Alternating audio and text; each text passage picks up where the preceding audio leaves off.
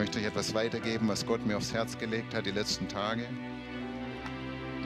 Ich glaube, dass es ein prophetisches Wort heute Morgen ist. Ein wegweisendes Wort für die nächsten Wochen, Monate. Weil da ist ein Bewegen im Geist. Da ist eine geistliche Aktivität. Ich weiß nicht, wer von euch es spürt, aber da, ich spüre das immer stärker die letzten Tage. Da ist eine geistliche Aktivität, eine Verstärkung, ich sage mal, der seismischen Aktivität im Geist. Halleluja. Und ich glaube, eine Schlüsselstelle für diese Zeit ist Jesaja 60, Vers 1 bis 2 und die andere ist Apostelgeschichte 3, Vers 19. Jesaja 60, 1 bis 2 heißt es. Und Gott spricht zu seiner Gemeinde hier, das ist ein prophetisches Wort auch für die neutestamentliche Gemeinde. Und er sagt, steh auf, sei Licht, denn dein Licht ist gekommen und die Herrlichkeit des Herrn ist über dir aufgegangen. Denn siehe, Finsternis bedeckt die Erde und dunkel die Völkerschaften. Aber über dir strahlt der Herr auf und seine Herrlichkeit erscheint über dir. Halleluja. Und es ziehen Nationen zu deinem Licht hin und Könige zum Lichtglanz deines Aufgangs. Erhebe rings um deine Augen und sieh, sie alle versammeln sich, kommen zu dir. Deine Söhne kommen von fernher und deine Töchter werden auf den Armen herbeigetragen. Aber es sind diese zwei Dinge, die offenbar werden in dieser letzten Zeit. Und das eine ist das Licht der Herrlichkeit Gottes geht auf über der Gemeinde in einer neuen Dimension. Und auf der anderen Seite erhebt sich die Finsternis in der Welt. Finsternis bedeckt die Erde und Dunkel bedeckt die Völkerschaften. Die Welt versinkt in größerer Dunkelheit, aber die Gemeinde Jesu erhebt sich in größerer Kraft. Bist du dabei? Gehörst du zur Gemeinde Jesu? Halleluja. Die Gemeinde Jesu erhebt sich in größerer Herrlichkeit.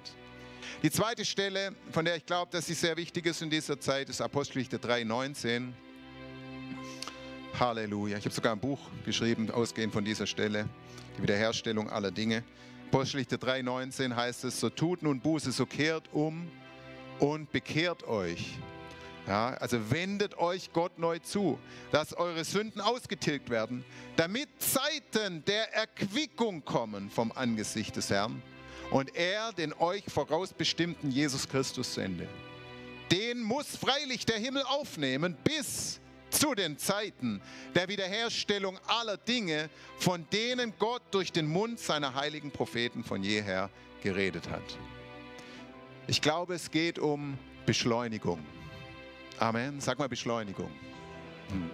2. Petrus 3, Vers 12 heißt es, dass wir die Ankunft des Tages Gottes beschleunigen sollen. Das heißt, den Plan Gottes kann man beschleunigen oder man kann ihn auch, äh, man kann ihn auch verlangsamen. Aber Gott hat die Gemeinde berufen, also die Finsternis will immer die Pläne Gottes verlangsamen, möglichst blockieren. Aber Gott hat die Gemeinde gerufen, Gott hat dich gerufen, um die Pläne Gottes zu beschleunigen. Sag mal zu deinem Nachbarn, du bist ein Beschleuniger. Und es geht tatsächlich um diese Wiederherstellung aller Dinge. Es geht um diese Wiederherstellung all der Dinge, die die Propheten bereits im Alten Testament vorausgesagt haben. Die Wiederherstellung all der Dinge, die wiederhergestellt werden müssen, auch hier auf der Erde, bevor der endgültige Tag Gottes kommt, bevor die neue Schöpfung und der, der, neue Himmel kommt, bevor die Wiederkunft des Herrn kommt. Vorher muss diese Wiederherstellung geschehen. Und ich glaube, und das habe ich wirklich prophetisch die letzten Tage so stark empfunden. Und Gott hat da wirklich, hat mich da reinge, ich sag mal, reingezogen. Ich glaube tatsächlich, dass die nächsten Wochen, genauer gesagt, die nächsten zwölf Wochen ein entscheidendes Zeitfenster sein werden. Und ich habe sowas noch nie proklamiert in dieser Art und ich bin auch nicht der Freund davon, ständig irgendwelche Zeitfenster zu öffnen für irgendwas, was irgendwo passiert. Und äh, du kannst viele Klicks im Internet bekommen, wenn du wieder sagst, was passiert die nächsten zwei Jahre, was, hat, was passiert die nächsten fünf Jahre, wo sind wir in zehn Jahren und so weiter. Aber weißt du, Gott hat letzten Dienstag äh, zu mir gesprochen während dem Intensivabend und plötzlich sagt er zu mir und sagt, Georg, berechne mal die Zahl der Wochen vom kommenden Sonntag bis zu eurer großen Herbstkonferenz vom 30. September bis zum 2. Oktober. Und wir haben ja diesen Termin für diese Herbstkonferenz schon vor Monaten festgelegt und wir haben es aus ganz banalen Gründen für diesen Termin festgelegt, nämlich wir haben uns einfach gesagt, die letzten Jahre war es immer so, wenn wir unsere Konferenz Anfang November hatten, dann kamen wir immer gerade in die erste große Corona-Winterwelle rein mit großer Panik überall in der Welt und da haben wir gesagt, dieses Jahr machen wir es so früh, dass wir vor der Welle sind, auf jeden Fall, egal was auch immer für Wellen kommen, haben wir gesagt, okay, 30.09. bis 2.10. ist safe, also haben wir die Konferenz schon vor Monaten auf diesen Termin Termin festgelegt und mit Adam Thompson und Steve Swanson und Bruder Jürgen gesprochen und diesen Termin festgelegt und äh, haben uns nichts weiter dabei gedacht, außer dass es ein guter Termin ist, was Corona angeht. Und plötzlich sagt Gott letzten Dienstag zu mir, berechne mal die Zahl der Wochen vom kommenden Sonntag bis zu eurer Herbstkonferenz. Und ich habe durchgerechnet, so den Kalender durchgerechnet und, ich kam darauf, es sind genau zwölf Wochen. Von heute ab sind es genau zwölf Wochen bis zum 2. Oktober. Und äh, zwölf mal sieben, ja, zwölf mal sieben Tage. Sieben ist die, Ta ist die Zahl der Vollkommenheit bei Gott. Zwölf ist die Zahl der Vollendung. Zwölf mal sieben ist vollendete Vollkommenheit. Also ein vollendetes, vollkommenes Zeitfenster, sagte Gott zu mir. Ein Zeitfenster, in der etwas, und er begann dann zu mir zu sprechen, nachdem, er, nachdem ich das ausgerechnet hatte, begann er zu mir zu sprechen, weil natürlich habe ich gleich verstanden, zwölf mal sieben, das ist schon etwas Besonderes. Und dann sagt er zu mir, ich gebe dieses Fenster, dieses spezielle Fenster, um tatsächlich Weichen zu stellen und Dinge im Geist zu positionieren für die auf euch euch zukommende Zeit. Dieses Zeitfenster, hat er gesagt, ist wie ein Fenster des Übergangs in eine neue Zeit hinein.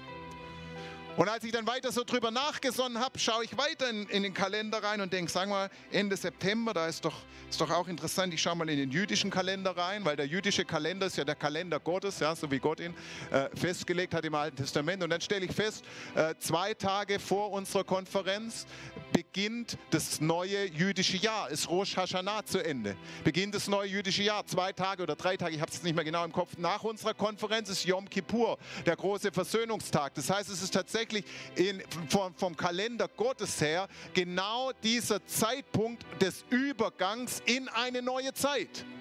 Zwölf Wochen von heute. Da dachte ich, wow, das ist ja wirklich interessant. Hatten wir auch nicht überlegt, als wir die Konferenz festgelegt haben. Manche legen ihre Konferenzen immer nach dem jüdischen Kalender fest. Machen wir normalerweise nicht. Wir lassen uns einfach vom Heiligen Geist führen. Aber, äh, weil wir sind im neuen Bund. Wer ist den Herrn? Aber in diesem Fall war es interessant, aber diese Bestätigung zu sehen, Zeit des Neuanfangs, äh, äh, Ende September, Anfang Oktober. Und Gott sprach so zu mir und sagte, ja, was, in dies, was ihr in dieser Zeit, in diesen nächsten zwölf Wochen, was ihr im Geist setzt, wird euch begleiten und nicht nur euch, sondern wird wirklich, wenn der Leib Christi das wahrnimmt, wird wirklich dieses Land und auch die umliegenden Nationen für eine längere Zeit, die darauf folgt, begleiten und entscheiden, in welche Richtung es geht. Amen. Weil wie von euch wissen, dass Finsternis die Erde bedeckt. Ich meine, Corona war eigentlich nur eine kleine Krise. Jetzt haben wir Krieg in Europa. Äh, äh, manche sagen schon, wir wissen nicht, ob wir nächsten Winter noch eine warme Wohnung haben, äh, äh was, die, was die Inflation macht und dies und jenes. Weißt du, äh, es ist ja wie eine Explosion von Krisen im Geist. Und die Welt hat keine Antworten. Amen. Das größte Problem in der Welt ist, auch der heutigen Generation, auch von Politikern und so weiter, das größte Problem ist, dass sie versuchen, ihre Antworten allein in menschlichem Verstand und menschlicher Weisheit zu suchen. Und ich sage dir, die Krisen werden zunehmen bis zu dem Punkt, wo die Menschen erkennen, ohne die Weisheit Gottes kommen wir nicht weiter. Amen. Ohne Gottes Reden, ohne Gottes Strategie kommen wir nicht weiter. Es gibt keine Lösungen im menschlichen Verstand. Es gibt keine Lösungen wirklich im natürlichen, sondern wir brauchen die Strategien Gottes. Und Gott sagte so zu mir, ja, diese nächsten zwölf Wochen sind entscheidend und ich rufe euch auf, wirklich diese nächsten zwölf Wochen zu investieren, ganz besonders in diesen nächsten zwölf Wochen wirklich Zeiten auszusondern zum Gebet, auch zum Fasten, es zu verstärken durch Fasten. Ich werde gleich auch noch was darüber sagen. In diesen nächsten zwölf Wochen, ich sage jetzt nicht, dass du die ganzen nächsten zwölf Wochen fasten sollst, sonst äh, können wir dich ja bei der Konferenz dann mit dem, mit dem Staubsauger aufsaugen. Aber, aber Aber ich glaube, dass Gott uns wirklich dieses Zeitfenster gibt, diese nächsten zwölf Wochen, um wirklich sowohl für unser persönliches Leben, Weißt du, wo du ein Wunder brauchst, wo du einen Durchbruch brauchst, wo du, wo du äh, sehen möchtest, dass Menschen um dich herum, Menschen in deinem unmittelbaren Umfeld zu Jesus kommen oder durchbrechen einfach in die Herrlichkeit Gottes, dann nutze wirklich diese nächsten zwölf Wochen als ein Zeitfenster, wo du immer wieder spezifisch Zeiten aussonderst für Gebet und für Fasten, um wirklich dich zu positionieren für diese kommende Zeit. Amen. Jetzt sage ich euch noch was.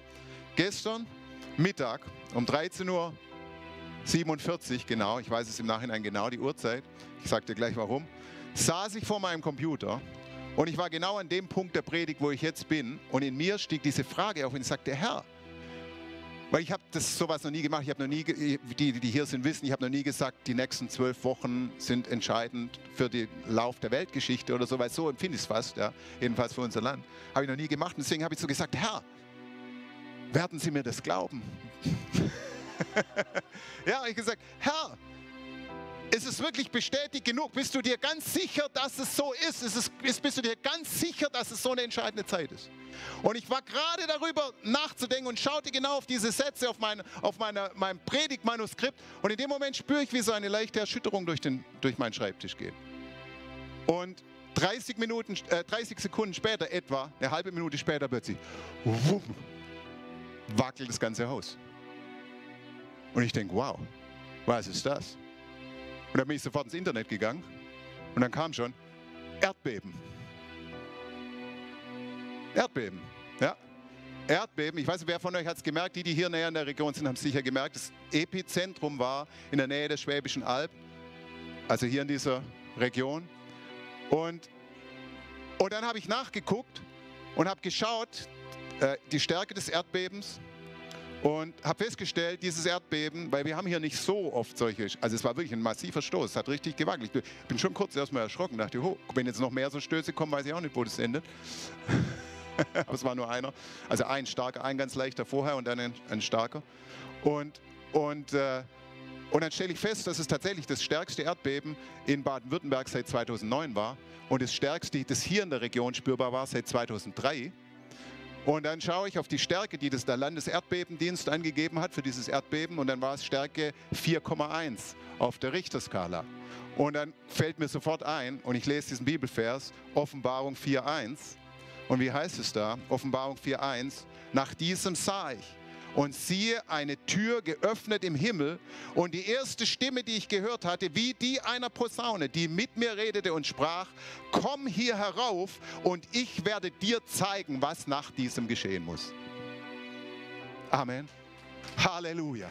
Und da wusste ich, und da wusste ich, Gott hat bestätigt, jawohl, er hat mir gezeigt, was für diese nächsten zwölf Wochen geschehen muss. Und er hat auch bestätigt, dass er in diesen nächsten zwölf Wochen wiederum zeigen wird, was in der kommenden Zeit geschehen muss. Amen. Wie von euch glauben, dass Gott manchmal Dinge in der Natur bestätigt? Ich erinnere mich daran, 2015 hatten wir eine Konferenz und eine Woche vor der Konferenz habe ich bei einer Abendveranstaltung, habe ich durch den Geist plötzlich gesagt und äh, ich meine, hier in Baden-Württemberg gibt es auch ganz, ganz, ganz, ganz selten Tornados, aber ich habe durch den Geist damals gesagt, ihr war dabei, ja, habe durch den Geist gesagt, oh, äh, Gott hat etwas Gewaltiges vor, äh, wie ein Sturmwind bei dieser nächsten Pfingstkonferenz, wird etwas Gewaltiges passieren und als Bestätigung wird es innerhalb der nächsten 48 Stunden einen Tornado in Baden-Württemberg geben, der zwar niemand äh, niemand äh, schädigt, aber der deutlich spürbar sein wird. Und es hat tatsächlich keine 48 Stunden gedauert und dann gab es im Süden Baden-Württembergs einen Tornado und die Leute sagten, es ist total ungewöhnlich um diese Jahreszeit sowieso und überhaupt in Baden-Württemberg. Aber es gab diesen Tornado, der so eine Schneise durch den Wald äh, geschlagen hat, nur durch den Wald, es wurde niemand verletzt, aber durch den Wald. Und auch das war ein Zeichen Amen. Wie von euch glauben, dass Gott Zeichen in der Natur tut? Also für mich war es ab dem Moment, wo ich da saß und genau da auf meine Predigt schaute und dann bumm, es bebte, wusste ich, das ist, ich bin nicht mehr, ich, ich bild mir das nicht ein. Ich weiß nicht, was du daraus schließt. Du bist frei, dem zu folgen oder nicht zu folgen, aber ich glaube, tatsächlich, dass sich die nächsten zwölf Wochen oder für, die, für diese zwölf Wochen von Gott her oder dass Gott für diese nächsten zwölf Wochen wirklich ein Fenster gesetzt hat, wo wir tatsächlich auch durch unser Gebet und durch unser Fasten darüber entscheiden, wie wir positioniert sind für die dann kommende Zeit. Amen. Und ich, ich weiß nicht, was in der dann kommenden Zeit kommen wird. Wie gesagt, Jesaja 60 ist die Schriftstelle. Finsternis bedeckt die Erde, dunkel die Völkerschaften. Aber über dir geht die Herrlichkeit des Herrn auf. Ich glaube, dass Gott etwas shiften will zu unseren Gunsten. Ich glaube, dass Gott etwas shiften will im Geist für seine Herrlichkeit, für die Freisetzung seiner Herrlichkeit. Aber er braucht seine Söhne und Töchter dazu. Amen. Und ich möchte dich wirklich ermutigen, egal ob du jetzt zu, zur Glory Life Bewegung gehörst oder sonst irgendwo ein Sohn oder eine Tochter Gottes bist, ich möchte dich wirklich ermutigen zu prüfen im Geist, inwieweit du einfach auch gerade diese nächsten zwölf Wochen nehmen sollst und nehmen kannst, wirklich als eine Zeit äh, der Aussonderung für Gebet und für Fasten. Amen. Ich lese dir ein paar Verheißungen. Halleluja. Verheißungen für Gebet. Was werden wir erleben, wenn wir beten? Halleluja. Matthäus 5, 7. Bittet und es wird euch gegeben werden. Sucht und ihr werdet finden. Klopft an und es wird euch geöffnet werden. Denn jeder Bittende empfängt und der Suchende findet und dem Anklopfenden wird aufgetan werden. Ich glaube, dass diese Verheißung über die nächsten zwölf Wochen steht. Was du Gott bittest in einer besonderen Weise, bittest in diesen nächsten zwölf Wochen, du wirst empfangen. Amen. Vielleicht brauchst du einen persönlichen Durchbruch mit der, äh, der, der, Berührung, vielleicht mit der Liebe Gottes. Vielleicht brauchst du ein spezielles Wunder in deinem Leben. Vielleicht möchtest du sehen, dass Menschen um dich herum äh, zu Jesus finden. Vielleicht sehnst du dich danach, dass der Leib Christi einfach wirklich in eine neue Ebene durchbricht, der Freisetzung, der Herrlichkeit und der Ernte in Deutschland, Österreich, Schweiz, Mitteleuropa und darüber hinaus. Amen was auch immer es ist, was du vielleicht schon lange bewegst, nimm wirklich diese nächste Zeit. Ich glaube, dass Gott, wie gesagt, wenn du dich die nächste Zeit darauf fokussierst und wirklich sagst, jawohl, da, da setze ich, weißt du, wie so eine, äh, so spezial, weißt du, es gibt ja jetzt, habe ich jetzt gesehen, da im Ukraine-Krieg setzen sie jetzt diese Spezialraketen, äh, wie nennt sich das, Haubitzen da ein, die ganz gezielt wirklich ins Lager des Feindes reinschießen, weißt du, und ich glaube, es geht wirklich darum, dass wir im Geist so ein paar Haubitzen abschießen wirklich gezielt auf die Munitionsdepots des Feindes und gezielt in Richtung dessen, was Gott uns aufs Herz legt. Ja, Johannes 13, 12 bis 14 sagt Jesus, äh, wenn ihr etwas bitten werdet in meinem Namen, so werde ich es tun. Also er sagt, wenn ihr etwas bitten werdet in meinem Namen, so werde ich es tun. Das ist eine Verheißung für konkrete Gebetsanliegen. Äh, Gebetserhörungen, Entschuldigung. Oh, ja, Anliegen und dann Erhörungen. Amen. Konkrete Gebetserhörungen. Mach es konkret. Weißt du, es geht nicht darum, weißt du, es, es hat auch eine gewisse Effektivität, einfach zu sagen, okay Herr, ich strecke mich aus nach mehr von dir, aber noch effektiver ist es konkret, ihn um etwas zu bitten und es wird dir werden. Und ich glaube, und ich spüre das schon die letzten Tage, ist wirklich ganz interessant, da ist eine neue Salbung da, ich habe das bei mir an mehreren Punkten gemerkt, eine neue Salbung da, wirklich etwas konkret zu bitten und es wird genauso. Amen. Und, und zwar genauso. Du bittest konkret und es wird genauso. Nur, nur ein kleines Beispiel. Gestern ist unser Straßenteam auf die Straße gegangen. Evangelisationseinsatz auf dem Schlossplatz mit der Astrid. Halleluja, preis den Herrn. Und ich habe immer äh, Samstagmittag von 14 bis 15 Uhr habe ich immer meine 24 Stunden, sieben Tage die Woche Gebetsstunde, mein Slot, ja, wo ich meine Stunde habe für, die, für, die, für das 24-Stunden-Gebet. Und das war genau der Zeitpunkt, wo sie begonnen haben dem Einsatz. Also habe ich natürlich auch für diesen Einsatz gebetet. Und ich habe wirklich so äh, konkret gebetet. Ich habe gesagt, Herr, lass diesmal sich fünf Leute zu Jesus bekehren. Und abends habe ich den Bericht bekommen von der Astrid. Und sie hat mir geschrieben und sie hat gesagt, es haben sich fünf Leute zu Jesus bekehrt. Verstehst du? Das ist konkret.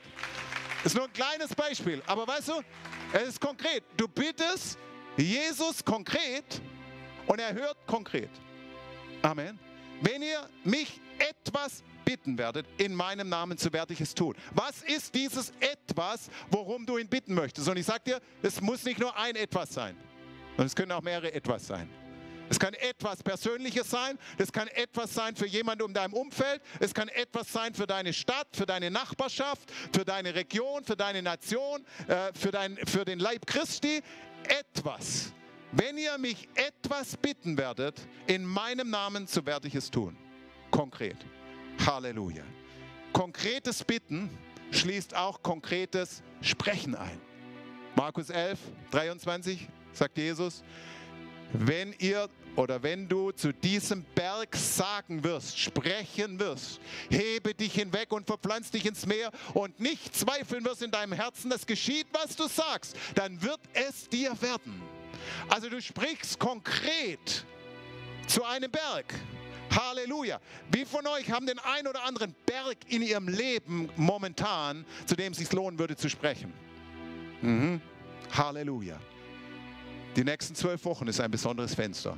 Sprich zu dem Berg. Wir werden Gebetserhörungen erleben. Wir werden erleben, dass Berge sich, sich verpflanzen. Wir werden erleben, dass Durchbrüche geschehen. Wir werden, geschehen, dass, dass, äh, wir werden erleben, dass konkret Dinge geschehen. Noch eine Bibelstelle dazu, Hiob 22, Vers 28, wo es heißt, dekretierst du eine Sache oder proklamierst du eine Sache, eine Sache eine Sache, eine konkrete Sache. Proklamierst du eine konkrete Sache, so wird sie zustande kommen und über deinen Wegen leuchtet Licht auf. Amen. Das sind vorbereitete Werke. Ich sage dir, das sind vorbereitete Werke in deinem Leben. Vorbereitete Wege, auch diese nächsten Wochen und Monate, wie du beten sollst, wie du konkret beten sollst, wie du dich eins machen sollst mit dem Himmel, um Dinge konkret hier auf diese Erde zu holen was du nicht aus deinem eigenen Verstand heraus überlegst, sondern aus dieser Einheit mit Jesus, aus dieser Einheit mit dem Himmel heraus, wirst du inspiriert, Dinge zu sprechen, Dinge zu befehlen, Dinge zu bitten und sie werden dir werden. Amen. Halleluja. Streck dich aus. Welche Menschen liegen dir besonders am Herzen? Ja, wo, möchtest, wo hast du vielleicht schon aufgegeben, schon länger aufgegeben? Wo bist du nachlässig geworden, vielleicht auch in deinem Gebet? Ich glaube, dass jetzt die Zeit ist, dich ganz neu, mit ganz neuer Entschiedenheit auszustrecken. Halleluja. Da ist eine Salbung da, ich sage es nochmal, für konkrete Gebetserhörungen. Und wir werden es gleich auch freisetzen jetzt am Ende der, der Predigt. Halleluja. Zweiter Punkt, Fasten. Oh, Halleluja. Sag mal, mein Lieblingsthema.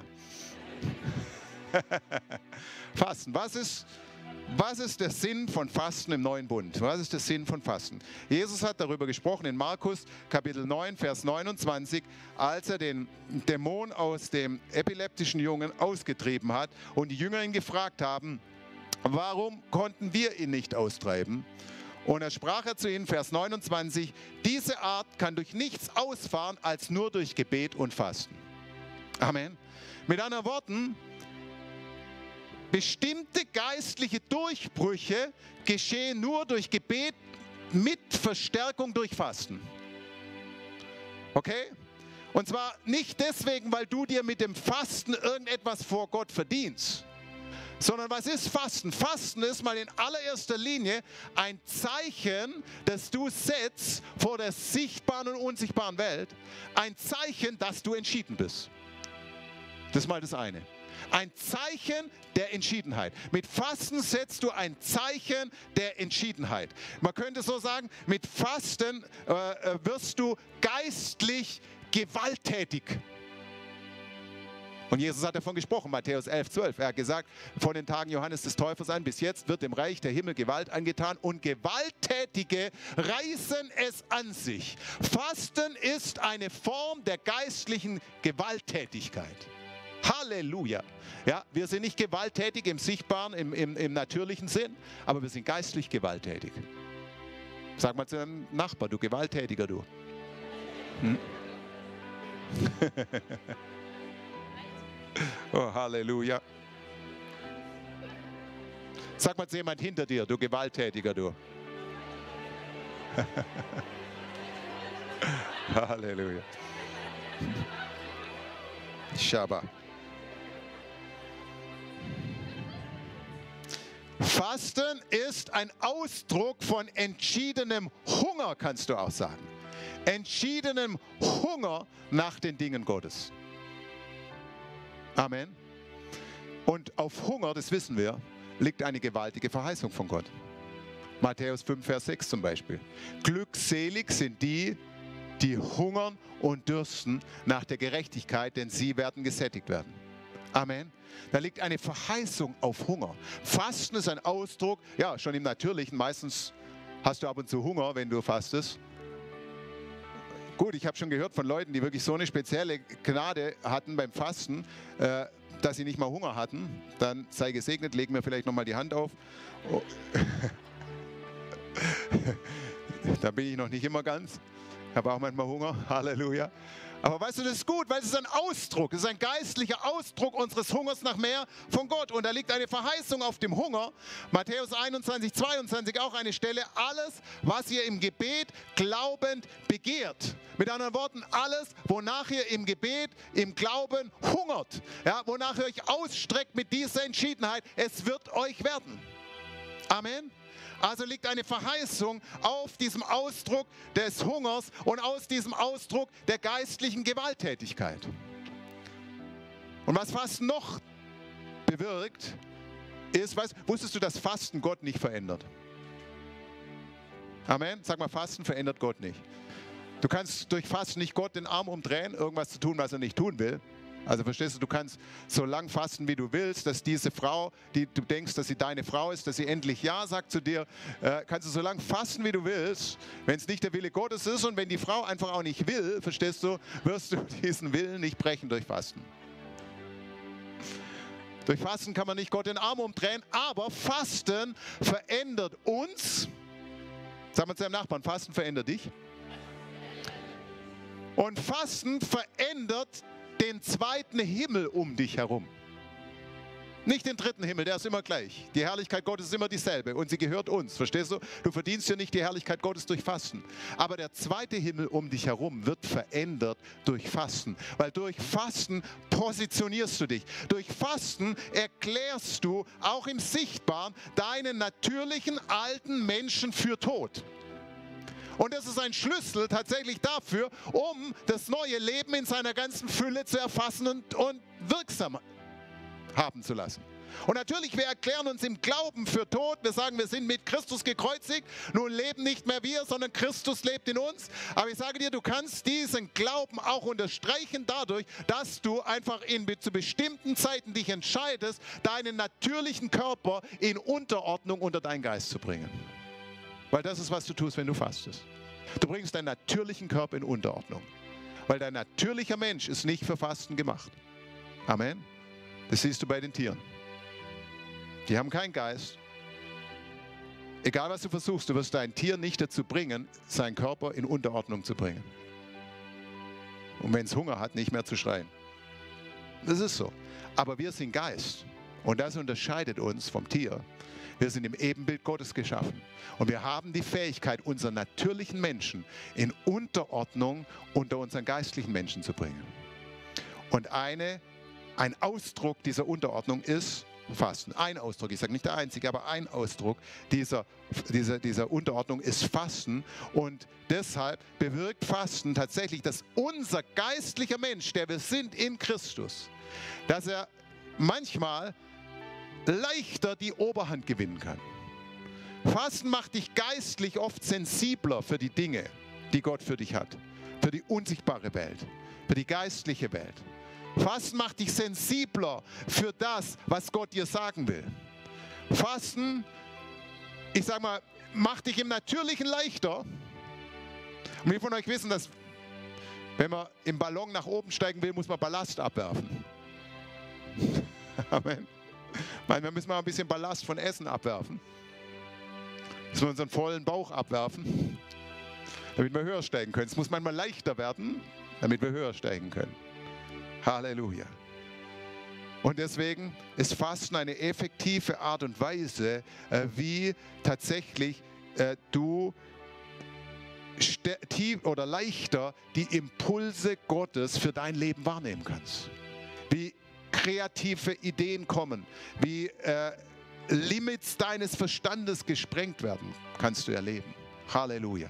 Wie du Dinge siehst, wie du in die Zukunft siehst. Weißt du, die Schriftstelle ist Offenbarung 4.1. Komm hier herauf und ich will dir zeigen, was nach diesem geschehen soll. Weißt du, was ich glaube? Ich glaube, dass Gott nicht will, dass die Gemeinde Jesu unvorbereitet in die vor uns liegenden Monate und Jahre geht. Amen. Ich übe mich nicht darin, irgendwelche Ereignisse vorauszusagen, aber von meinem Empfinden her würde ich sagen, es ist absolut notwendig, dass wir uns vorbereiten. Amen. Und mit vorbereiten meine ich nicht, in erster Linie jedenfalls nicht jetzt irgendwelche Vorräte zu horten und irgendwie uns einzugraben oder einen Bunker zu, zu bauen oder einen Kopf ins Sand zu stecken, so nach dem Motto, okay, es wird alles immer schlimmer und deswegen wir warten, dass der Herr uns abholt. Nein, ich habe es am Anfang gesagt, wir haben den Auftrag, die Wiederkunft Jesu zu beschleunigen. Weißt du, wenn Christen nur den Kopf in den Sand stecken, dann kommt das sowieso nicht. Amen, das ist die falsche Strategie. Sondern die richtige Strategie ist, das Reich Gottes so heftig und so stark und so, und so mächtig wie irgend möglich auszubreiten. Amen. Die, die, Strategie ist, mit dem Himmel zu partnern und wirklich mit dazu beizutragen, dass zum Beispiel Habakkuk 2, Vers 14 erfüllt wird. Wo es heißt, die ganze Erde wird davon bedeckt sein, die Herrlichkeit des Herrn zu erkennen. Also diese Welt braucht eine Erkenntnis der Herrlichkeit des Herrn.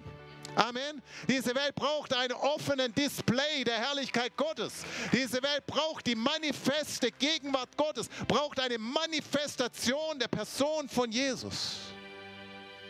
Wie viel können Jesus heute Morgen hier spüren? Weißt du, als wir vorher gesungen haben, alle zusammen, Jeshua, Jeshua, weißt du, Jesus geht durch den Raum. Also das ist nicht vergleichbar mit irgendetwas anderem. Christen können alle möglichen Strategien haben, wie sie am besten Menschen erreichen und Programme und zehn Punkte Schritte und was weiß ich was. Aber ich dir, nichts wird die Menschen so effektiv wirklich an das Herz Gottes ziehen wie seine Gegenwart. Und deswegen glaube ich, es ist ein wesentliches Anliegen, die nächsten zwölf Wochen, dass wir wirklich im Gebet und unterstützt mit Fasten wirklich freisetzen, dass diese Gegenwart Gottes, dass diese Manifestation der Herrlichkeit Gottes sich in einer neuen Dimension durch die Gemeinde Jesu offenbaren kann. Amen. Halleluja. Angefangen in unserem Leben, über unsere Gemeinden, über den ganzen Leib Christi, egal welche Kirche, egal welche Denomination. Gott möchte sich offenbaren. Halleluja. Aber es liegt an uns, die Weichen zu stellen. Also, Fasten verändert nicht Gott, sondern uns und den zweiten Himmel um uns herum. Es gibt mehr Klarheit, mehr Durchschlag, mehr Effektivität, mehr Autorität und übrigens auch mehr Freude. Amen. Halleluja. Was hat Jesus gesagt? Wenn ihr fasst, dann lauft nicht herum, so wie die, wie die Pharisäer und Heuchler, damit sie alle selber, uh, ich faste, ich faste für den Herrn, ich bin schon am dritten Tag.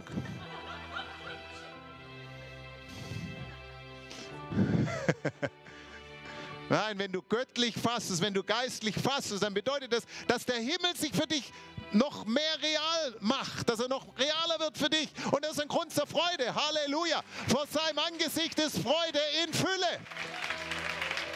Oh, Halleluja. Danke, Jesus. Und wenn du in die Bibel reinschaust, gerade auch ins Neue Testament, dann stellst du fest, dass Zeiten des Gebets und des Fastens sehr häufig am Anfang neuer geistlicher Durchbrüche standen. Ich meine, angefangen mit Jesus. Als der Geist Gottes auf Jesus kam am Jordan, als er getauft wurde, ist er nicht als erstes nach Nazareth gegangen und hat gepredigt, der Geist des Herrn ist auf mir. Wie von euch wissen das? Sondern was hat er als erstes gemacht?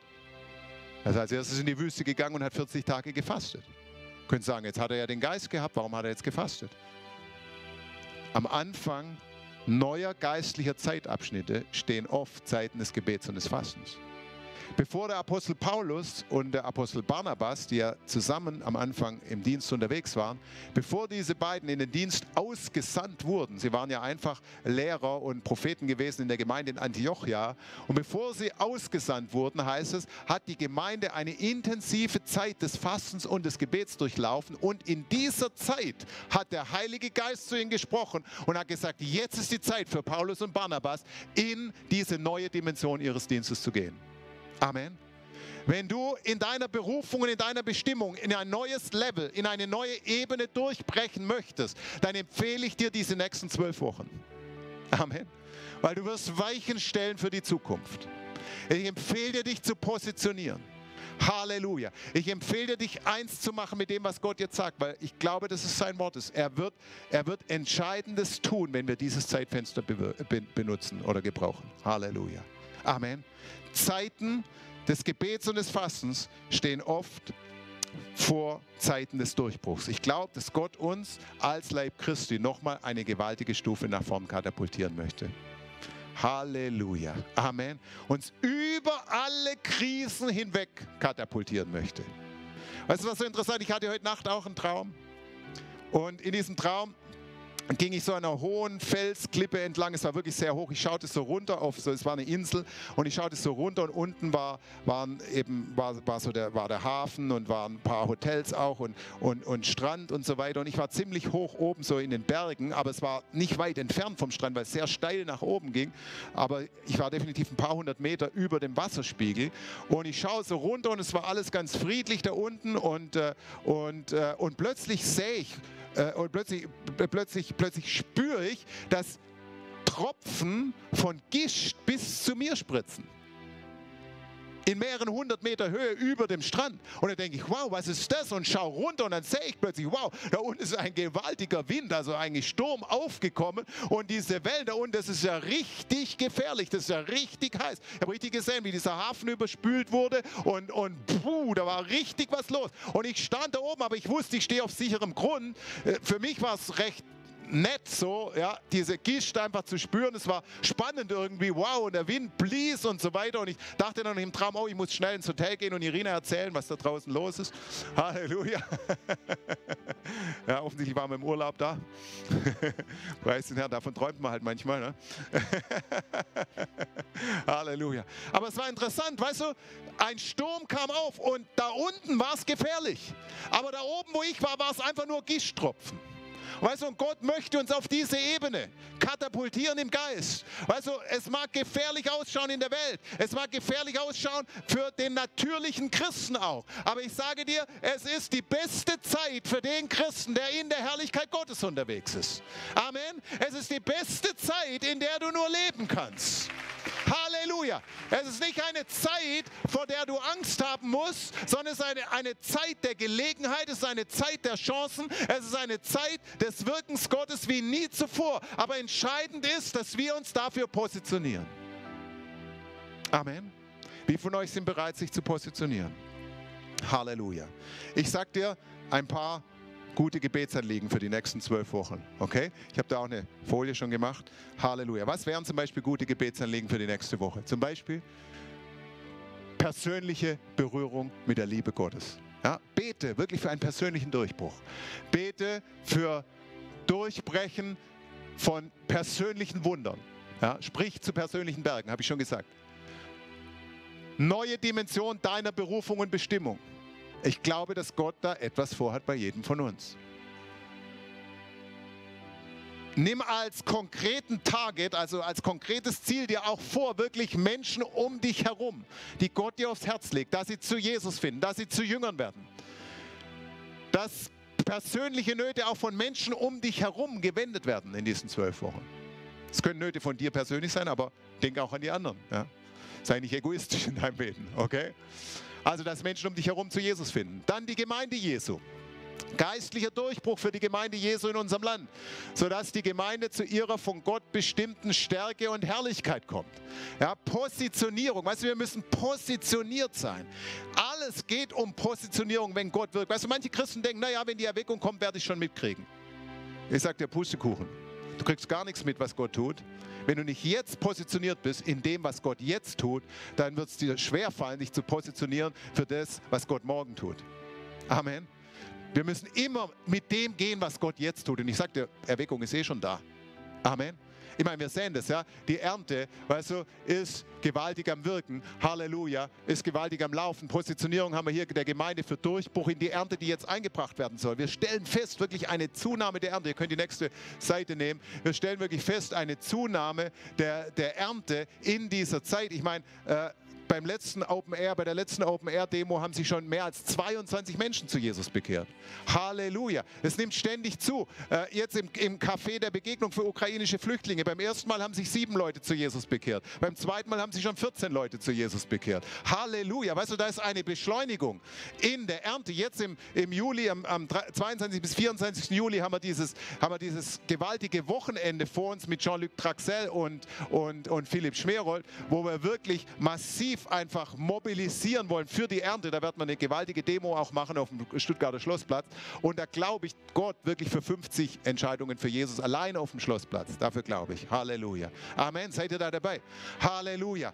Erntezeit. Es ist Erntezeit. Halleluja. Die Zeichen stehen auf Ernte.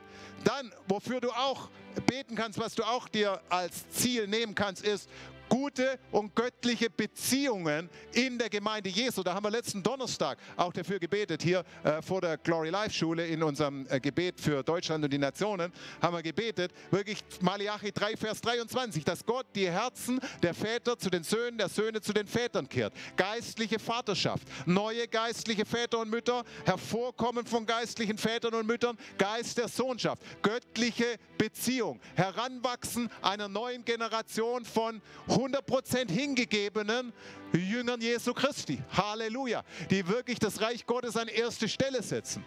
Durchbruch unter der Jugend. Amen. Gestern hatten wir ein starkes Jugendtreffen, habe ich schon gehört. Halleluja. Ich habe hab gehört, am Ende lagen alle auf dem Boden. Halleluja. Und haben neuer Leben Jesus gegeben. Halleluja. Preis den Herrn. Amen. Also Gott ist am Wirken. Halleluja. Also lasst uns wirklich die Jugend ganz besonders auch in, in, in Fokus nehmen, einfach, äh, dass Gott die Weichen dort stellt. Halleluja. Neue Generation. Weichenstellungen für unser Land. Nur, dass es weiß, du musst es jetzt nicht abfotografieren oder mitschreiben. Wir haben es am Ausgang auslegen. Du kannst es einfach mitnehmen. Ja? Wir haben die Liste auslegen. Also nicht, dass du jetzt denkst, du musst dir alles merken, okay? weißt den Herrn. Weichenstellungen für unser Land. Ja? Suche nach Weisheit und Antworten bei Gott. Das ist immer mein erstes Gebet, dass die Menschen in unserem Land wirklich nach Weisheit und Antworten bei Gott suchen. Weil der Punkt ist der, wenn sie bei Gott suchen, werden sie finden. Solange sie denken, sie können selber äh, in ihrem Humanismus äh, sind sie stark, dann gibt es keine Antworten von Gott. Also lasst uns beten, dass sie suchen nach Weisheit und Antworten bei Gott. Göttlich inspirierte Strategien, zum Beispiel bezüglich dieser Dinge, die da anstehen, wie Energie, Wirtschaft, Finanzen. Ja? Äh, lass uns auch, das ist auch, so ein, das ist auch ein Target von mir jedenfalls, dass ich bete dass ich wirklich sage, im nächsten Winter keine neuen Corona-Auflagen für Gottesdienste. Amen. Nix Maske, Halleluja, nix irgendwas, sondern Freiheit. Amen. Wo der Geist des Herrn ist, da ist Freiheit. Halleluja.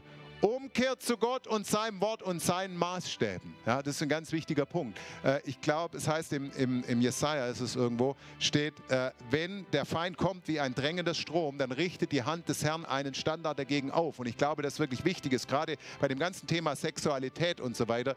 Da ist eine Agenda einfach, ich sag mal, äh, von der Finsternis in, über unserem Land, was wirklich die Maßstäbe so massiv verrücken möchte in den nächsten Jahren. Und das steht wirklich unmittelbar bevor und die Gesetze sind schon in der Pipeline dafür dafür. Und ich glaube wirklich, wir sollten hier beten, wirklich nur eine massive Umkehr hin zu Gott und Erkenntnis, dass, dass es darauf ankommt, wenn eine Gesellschaft auf Dauer bestehen möchte, dass sie sich an den Maßstäben Gottes orientiert und nicht an irgendwelchen menschlichen Ideen.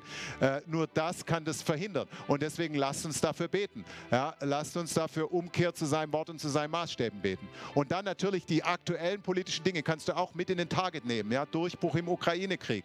Dann Israel ist gerade auch wichtig auf der Agenda. Israel hat wieder Neuwahlen im Herbst. Ja, die fünften innerhalb von zwei Jahren. Israel braucht Stabilität in der Politik, weil sie sind bedroht. Sie haben so viele Anschläge momentan wie, wie seit Jahren nicht. Äh, islamistische Anschläge ist wirklich äh, äh, sehr fragil die Situation. Also lasst uns wirklich dafür Israel beten, dass sie schnell eine stabile äh, neue Regierung bekommen und wieder stark werden, um einfach auch den äußeren Herausforderungen äh, äh, entgegenstehen zu können. Also das sind Anliegen und du kannst natürlich noch weitere dazufügen. Das sind die, die, die ich jetzt einfach so hatte, äh, zusammen mit Irina jetzt die letzten Tage. Aber äh, es gibt natürlich noch weitere Dinge. Aber ich möchte dich einfach einladen, wirklich, mach diese kommenden zwölf Wochen. Weißt du, ich weiß, es ist auch Urlaubszeit und alles. Äh, und ich erwarte nicht von dir, dass du in, in deinem Urlaub die ganze Zeit fastest und äh, was weiß ich und hungrig am Strand liegst und verstehst du?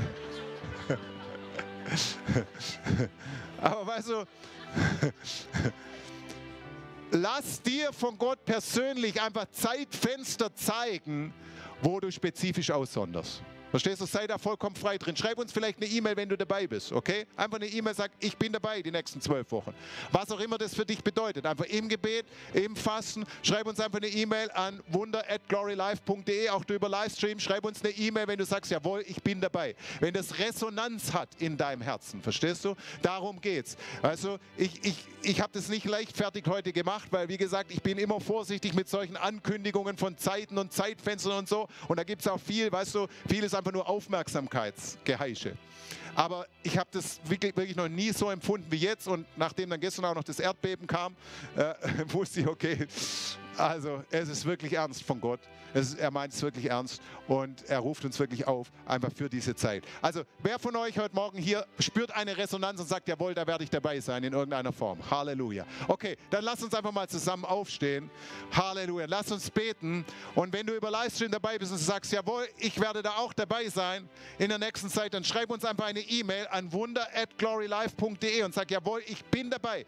Zwölf Wochen Gebets- und Fasten-Durchbruch. Ja? Zwölf Wochen Zeit des Durchbruchs, Zeit der Positionierung, Zeit der, des Shifts, ja, der Veränderung, der der, der, ja, der Vorbereitung für eine neue Zeit. Und wenn dann das jüdische Neujahr kommt, Ende September, Anfang Oktober, dass wir dann wirklich in diese neue Zeit voreingehen. Der Abschluss dieser Zeit wird ja dann diese Konferenz sein. Und da, können wir jetzt schon sicher davon ausgehen, dass es extrem stark werden wird. Halleluja. Aber äh, weißt du, auch davor wird es schon stark, weil wir nämlich einfach unseren Fokus ausrichten. Halleluja. Halleluja. Streck einfach mal deine Hände aus zu Gott. Vater, ich danke dir von ganzem Herzen, Herr, für dein Wort, Herr.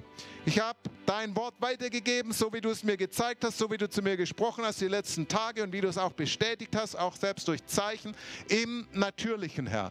Und so äh, bete ich jetzt, Vater, dass du durch die Kraft des Heiligen Geistes zu jedem Einzelnen, der meine Stimme hört, jetzt redest und sprichst, Herr. Und Herr, wenn da eine Resonanz ist in ihren Herzen, Vater, dann bete ich, Herr, dass du zu ihnen sprichst, auch konkret, Herr. Herr, äh, die nächste Zeit, die nächsten Tage, die nächsten Wochen immer wieder, dass du sie auch daran erinnerst, dass du uns daran erinnerst, dass du sagst, jawohl, wir sind in diesem besonderen Zeitfenster und wir wollen dieses Zeitfenster nutzen und wir wollen es nicht einfach vorübergehen lassen und daneben stehen, sondern wir wollen wirklich mit da hinein marschieren in das, was Gott jetzt geplant hat.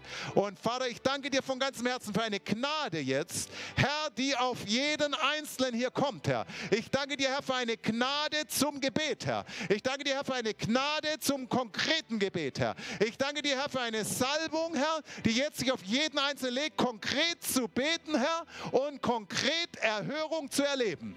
Halleluja, Halleluja, Halleluja. Wie äh, der Reinhard Bonke hat mal über Gebetserhörung gesprochen und dann wurde zu ihm gesagt und hat gesagt, ach, diese ganzen Gebetserhörungen, von denen du erzählst, das sind doch alles nur Zufälle. Und dann hat der Reinhard Bonke geantwortet und hat gesagt, äh, egal wie du das sehen magst, aber das Interessante ist, immer wenn ich aufhöre zu beten, dann hören die Zufälle auf. Halleluja. Preis den Herrn. Amen. Und so ist es. Halleluja. Und ich danke dir, Herr. Ich danke dir, Herr. Weißt, du kannst ja auch sagen, zum Beispiel, ja, das Erdbeben gestern genau um die Zeit war Zufall. Ja, kannst du so sehen. Aber verstehst du? Es kann auch eine höhere, eine höhere Bestimmung dahinter sein. Halleluja. Und Jesus, ich danke dir, Herr, für Erlebnisse, Herr, wo wirklich Gebete erhört werden, Herr. Konkret messbare Gebetserhörungen. Jawohl, so haben wir gebetet und so ist es passiert. Genau so haben wir es gesprochen und so ist es passiert. Genau zu dem Berg haben wir gesprochen und genau der hat sich ins Meer verpflanzt, Herr. Ich danke dir, Herr, dass du jeden Einzelnen inspirierst, konkret zu hören, Herr, konkret zu beten, Herr, und konkret zu empfangen, Herr. Und Vater, ich bete auch, Herr, für diesen Geist des Hungers, Herr, diesen Geist der Entschiedenheit, Herr, diesen Geist der Klarheit, Herr, der uns wirklich, ja, auch vor der sichtbaren und unsichtbaren Welt wirklich Zeichen setzen lässt, Herr. Zeichen setzen lässt durch Fasten, durch Verzicht, Herr. Wie auch immer. Ja, das ist vielleicht auch noch ein kleiner Disclaimer, wenn du irgendwie Medikamente nimmst oder so, dann frag deinen Arzt, ob du fasten kannst. Weißt du, es gibt auch andere Möglichkeiten. Du kannst auch, du musst nicht, äh, du kannst auch von anderen Sachen wie, wie Essen fasten. Manche sollten vielleicht dringend von WhatsApp fasten oder von, vom Fernsehen Fernsehen oder von Netflix oder von sonst irgendwas, verstehst du? Oder Süßigkeiten oder keine Ahnung was oder Geld ausgeben oder was auch immer. Halleluja. Danke, Heiliger Geist, dass du uns inspirierst, Herr. Und danke, dass du uns motivierst, Herr. Und dass du uns erinnerst immer wieder. Auch die nächste Zeit, Herr. Ja, wir weihen uns wirklich dir, Herr, für diese Zeit der Entscheidung. Ja, das war auch eine Schriftstelle, die Gott mir gezeigt hat, noch äh, Joel 4, Vers 14, von diesem Tal der Entscheidung. Ich habe wie empfunden, diese nächsten zwölf Wochen sind wie so ein Tal der Entscheidung, in das er auch die Gemeinde Jesu führt. Halleluja. Danke, Jesus, Herr. Danke, Jesus, für dieses Tal der Entscheidung, Herr. Halleluja, Herr. Danke, Herr, dass du jeden Einzelnen heute Morgen hier und jeden Einzelnen über Livestream da ganz persönlich inspirierst und ganz persönlich zeigst, was es für ihn oder für sie bedeutet, Herr. Herr, wo er oder sie gerade jetzt persönlich steht, Herr. Halleluja. Wo es gerade jetzt bei ihm oder ihr persönlich wirklich auch um diese Zeit des Shifts geht, diese Zeit des Durchbruchs geht, Herr. Diese Zeit der Neuausrichtung, diese Zeit der Neuorientierung. Halleluja.